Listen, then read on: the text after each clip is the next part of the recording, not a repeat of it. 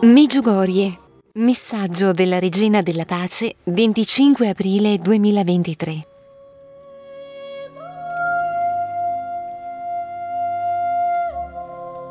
Cari figli, vi invito tutti ad essere portatori della pace e della gioia di Gesù risorto, per tutti coloro che sono lontani dalla preghiera, affinché attraverso le vostre vite l'amore di Gesù li trasformi a vita nuova, vita di conversione e santità.